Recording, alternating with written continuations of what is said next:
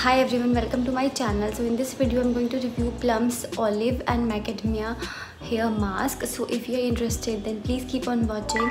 But before moving further if you're new to my channel then i would love for you to please subscribe to my channel if you haven't already. And now let's begin the video. So i would like to mention that if you want to see a tutorial on this green eye look with neutral makeup then you can just head over to my instagram. I'll leave my handle in the description box check out this tutorial. Plum is a cruelty free brand and all of their products are paraben and sulfates free.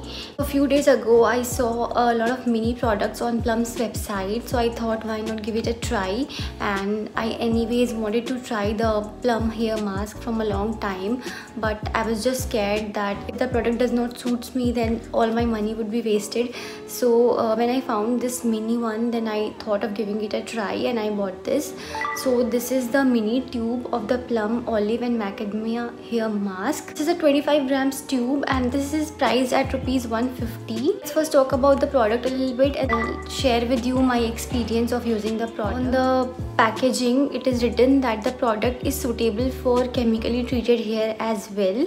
I can see the company claims that the product has shea butter olive oil and plant derived keratin. So they say that the product has pro vitamin b5 and it is a silicone free hair mask and the product helps to nourish chemically treated damaged hair and also it helps to moisturize and soften the hair. And also the company claims that the product helps in creating a UV shield for colored hairs. So as you can see I already have colored and chemical treated hair.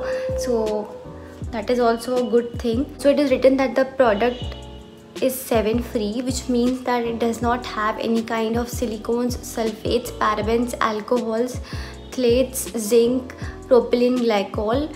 So it is free from all of these ingredients which is a really good thing because these ingredients are not good for your hair as well as your skin. And I really like the fact that the product does not have any parabens or anything because I really don't want my hair products to have parabens in it. It is mentioned that you should use the product once or twice a week. And the directions to use are that you have to use this product after you wash your hair after you shampoo your hair.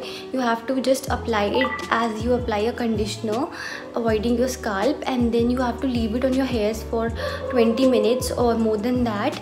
And then you can just rinse it off and style your hair as you desire.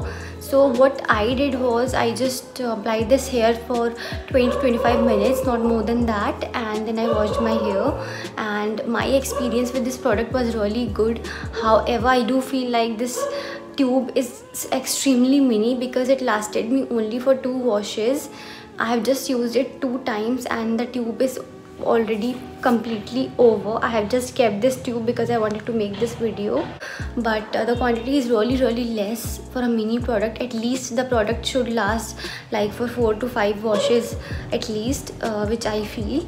But anyways other than that i really felt like the product actually helps in making the hair soft and manageable as well as i felt like it kind of helps in making the hair more healthier. And when i tried this um, hair mask i did not oil my hair just because i wanted to see the effect which the mask gives on my hair. And i'm specifically making this video today because i have washed my hair today and i've used this mask. And this is how my hairs are looking right now. So I did not use any conditioner because this works as a conditioner as well.